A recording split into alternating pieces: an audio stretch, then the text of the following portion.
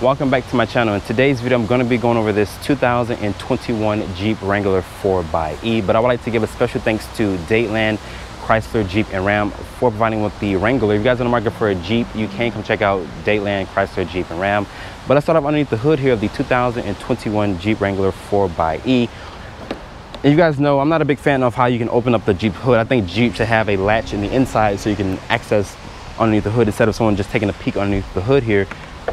But open up this, it does reveal Jeep's two liter four cylinder here. It's turbocharged. It makes 375 horsepower, 470 pound feet of torque. It's paired with two electric motors. One is an engine uh, mounted uh, generator and the other one is sandwiched between the transmission. When you combine the electric and gas, you get 49 miles uh, combined. If you just add it just with the gasoline itself, you get 20 miles combined. So with the electric setup, it does give the Wrangler here better fuel efficiency, which I think is really good because this vehicle weighs uh, 5,200 pounds, which is very heavy compared to a gasoline version Wrangler, which weighs around 4,800 pounds. So this vehicle is going to be way heavier compared to a normal uh, Wrangler. And this does use a 17 kilowatt hour battery pack to store the electricity. Uh, but shedding the hood here of the Wrangler here, like I mentioned, you guys know I'm not a big fan of how you can access the engine compartment there, but shedding this back and latching it.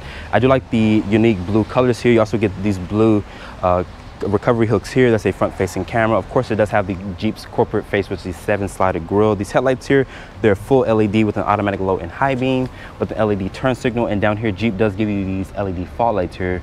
I'm surprised to see there's no front parking sensors here and Jeep says you do get 10.8 inches of ground clearance here. So this vehicle is still capable of going off-road clearance. But making our way to the side profile here, but before you do that, let's look here, look here at the hood here. I do like this sport type hood. It does have the 4xe decal here on the top. There's also these heat extractors so you can push out that heat from underneath that two liter four cylinder just in case it does get overheated there. But looking here, there's this Rubicon battery on the side. Like I mentioned, this vehicle does have this nice blue, unique uh, color here. This exterior color is called a Stingray Gray, gray, which looks really nice. This is how you charge the Wrangler here. Once you click that, it does have that nice satisfying click. To get a full charge, it takes 2.4 hours. That's on a 240 volt charger here. Once you do that, you can drive this vehicle in electric range only. So if you guys are off-roading, this would be a really good option to save fuel instead of burning through the fuel going off-road. That's the trail rated 4xe badge here. Down here, that's the Jeep Wrangler Unlimited badge here. And it's also painted in this blue uh, as well. But looking at these tires here, these are all-terrain Goodyear uh, tire here. These are a 285 70 uh, tire here. They're in this 17 inch rim design. I do like these silver with the dark finish here. And like I mentioned, you do get 10.8 inches of ground clearance. So this thing is still capable off-road. And just let you, just an FYI guys, once I open up the door here, uh, looking inside here, this is a little bar here up top to show you when the Wrangler is charging, this thing will light up blue to let you know that it's fully charged or it's halfway charged once you have the charger connected. So I think that's a nice feature. Instead of you uh, always checking to see if it's charging or not, it will light up blue at the top. The wheelbase for the Wrangler is at 118.4 with an overall length of 188.4. But making our way to the rear here of the Jeep Wrangler, another thing before I forget again, you can also remove the doors and you also can remove the panels to give the Jeep an open and airy cabin. But making our way to the rear here of the Wrangler, these taillights are gonna be a full LED turn signal and reverse light and brake light. And another thing for 2021, you guys cannot open the fuel door from here because Jeep has now basically have it locked. So if the vehicle is locked, you cannot open it. If it's unlocked, you can open it. So now people can feel a little bit more safe with that being the thing. Looking here, there's this large spare tire that Jeep gives you. The backup cameras here of the tire. There's gonna be LED lights for the tag. There's rear parking sensors. There's the seven and four pin connector. I do like this beautiful blue uh, recovery hooks here. That's also the 4xe badge on that side. Open up the cargo back here. I do like this barn opening door here. Once you open it up, and lift this area up here, it does reveal 31.6 cubic feet of space. And once you fold down all the seats, it reveals 72.4 cubic feet of space. So even this being with the uh, hybrid powertrain here, the rear, the battery lives underneath the rear seat. I'm gonna show you guys uh, the battery once I get into the actual back seat. Like I mentioned, it uses a 17 kilowatt hour battery pack. And underneath here, Jeep still gives you some underfloor storage. And I'm gonna show you guys the charging uh, connector here. It's still in the plastic because this vehicle is still brand new. So I think this is a 240 volt charger here, if I'm not mistaken. So like I mentioned, you can get a full battery charge in 2.4 hours. So getting to the driver's seat here of the Jeep Wrangler, this vehicle does need running boards because it does offer 10.8 inches of ground clearance here. But getting inside here, I have to hoist myself up into the Wrangler here, but shutting the door here, The door sounds nice and solid. But to start up the Wrangler, of course, just like every other car, just put your foot on the brake and press the start stop button right here. Once you do that, you guys can hear there's no combustion engine. It uses the electric motors to start up the vehicle here. I'm gonna show you guys the key fob here. It's the same traditional regular key fob. It has Jeep on the back on the back of the key fob here. It does have a lock, unlock, remote start, and the panic button does have that switchblade key there. But I wish Jeep would have did a little bit more with the badging. Just like how it is in here, has has the nice blue uh, stitching with the Rubicon name spelled out. This is the cloth seat. You can also get a leather seat if you would like. But I wish Jeep would have had a blue Jeep emblem or something the key fob looks a little plain to me. The materials are very soft to touch here. There's aluminum door handle here, your lock controls, mirror controls, your headlight controls are over here. This is a manual tilt telescoping wood. It offers a decent amount of range and adjustability. The dashboard here is gonna be a nice leather up material. And like I mentioned from the outside scene here, if you guys are want to know the charging state of the vehicle, once you have it connected, this thing will light up blue to tell you if it's halfway or when it's dead here. Um, once it's fully lit up, then let you guys know that the battery is completely charged. This is an 8.4 inch uh, Uconnect system here. It does support Apple CarPlay and Android Auto here. Going to the Google Maps here, it does take up the complete screen here. The touch response on this vehicle, on the screen here is very responsive here. Going here to the Uconnect System 4, you can also switch through here. You can also do drag and drop function. So you guys want to have your infotainment system on one screen, you can do so.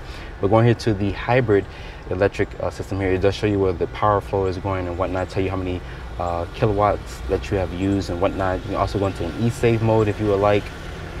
So you can customize the screen to do different stuff. You're going to the embedded uh, navigation here. It does show you different stuff. It does show you like, for example, you can spell out the screen or you have the screen uh, there to display here on the uh, system on the screen here if you like. If not, most people are going to use the, the Apple CarPlay or the Android Auto here, but going back here to the Apple CarPlay does take up the complete, the, the complete screen like I mentioned. There's these big knobs here for the volume and tune knob, also for the climate control. There's also hard buttons here for the front rear defogger. There's a mute button here. This is for the max regen braking. So if you guys are used to electric cars, if you're, um, once you release your foot off the, the gas, it will start to basically slow down the vehicle for you so it can put that uh, energy back into the battery pack. This does use a 17 kilowatt hour battery pack.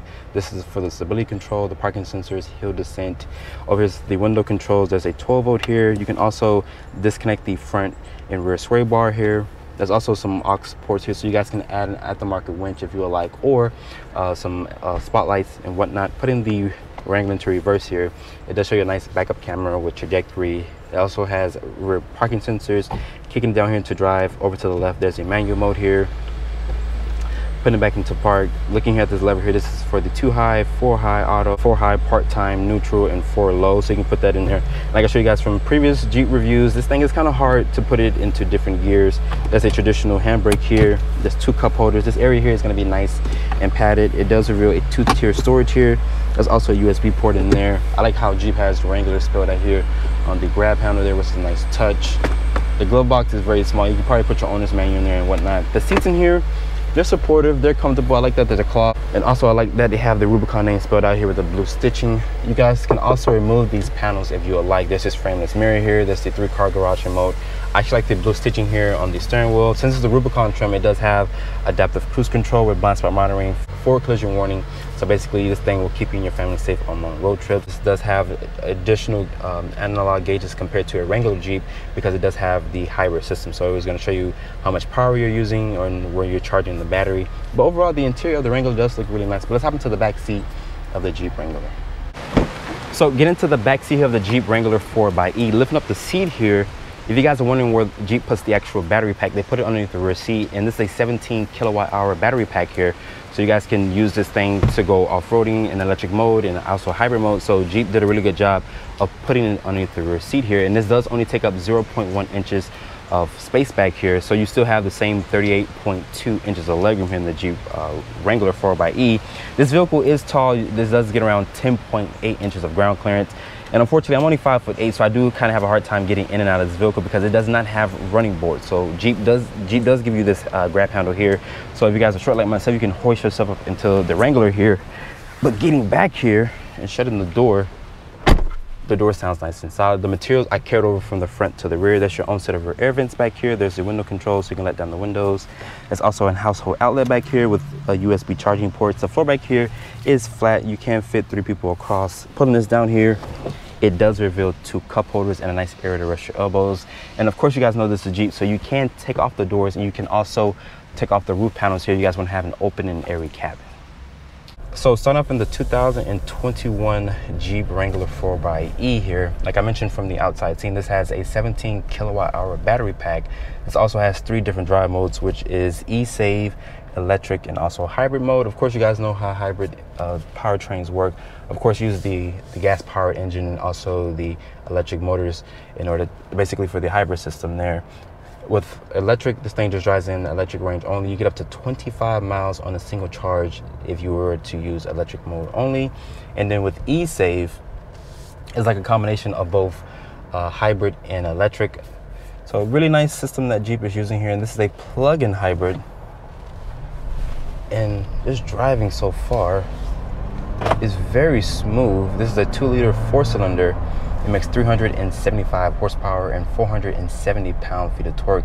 And there's this button here. This is for the max regen braking here. So I'm just lifting my foot off the, the gas here and the vehicle is just coming to a stop itself it's not going to come to a complete stop. It's still going to crawl in a sense. You have to basically use uh, your foot to basically make the Jeep come to a complete stop. Visibility is still good. Of course, you guys know the Jeep Wrangler is shaped like a box in a sense. Um, do, this does come with Jeep blind spot monitoring, adaptive cruise control, forward collision warning. So Jeep does keep you and your family safe on long road trips. This does use the Uconnect 4 system, which is a 8.4 uh, screen here. It does support Apple CarPlay and Android Auto. The gauges here are unique uh, to the Wrangler 4xE. It has the uh, power gauge here, so uh, it does show you the when it's charging the battery, also when it's going to be at 100% and 75% or 50%, or when the battery is just basically dead. It does show you that here. You can customize this LCD display screen in the middle, and the stitching, and also the blue uh, for the outside lets you know that someone actually has the 4xE uh, trim here of the Wrangler.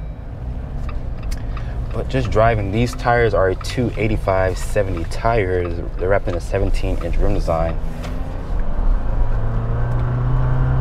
That 2 liter 4 cylinder, I'm not a big fan of how it sounds. But honestly, I do like the regen braking it puts that power back into the battery pack. And the battery pack is underneath the receipts there to um, jeep put it in underneath the receipt to keep it from getting water damage.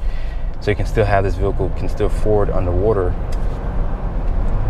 And once you put your foot to the floor a little bit the electric motor you feel the surge of torque. It pushes you in the seat. The seats in here they're cloth.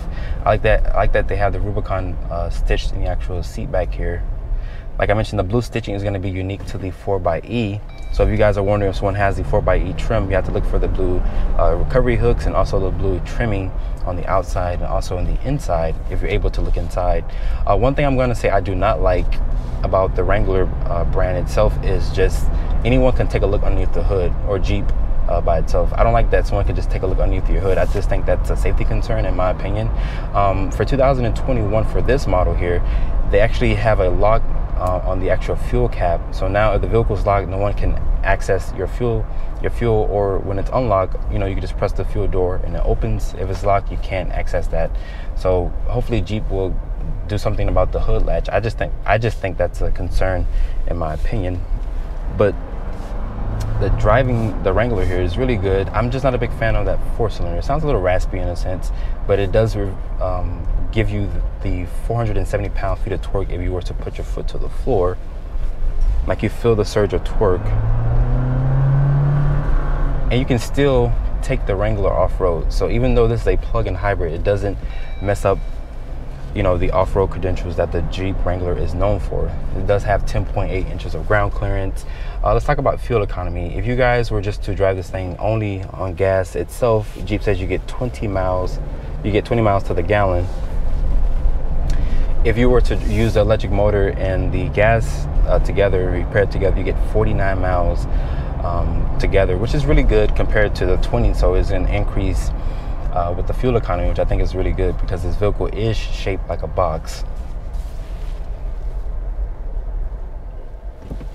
And this vehicle is way heavier compared to a gasoline Wrangler. This vehicle weighs 50, 5,200 pounds when the regular Wrangler weighs around 4,800 pounds. So with the battery pack and all the additional components, it makes the Jeep Wrangler way heavier compared to a uh, gasoline uh, Wrangler. But just driving here, the powertrain is very responsive, very smooth. The 8-speed automatic is paired really good here with this 2-liter 4-cylinder. I'm averaging around 32 miles to the gallon, so you still get good uh, MPG even with the plug-in hybrid here of the Wrangler. So after spending time with the 2021 Wrangler 4xE, starting price here is at 51,000. $695 with the options and accessories including destination the Wrangler stickers for $65,119 hope you guys have enjoyed this review. Be sure to follow me on Instagram at Drive On Reviews and hit that subscribe button and I'll see you all in the next video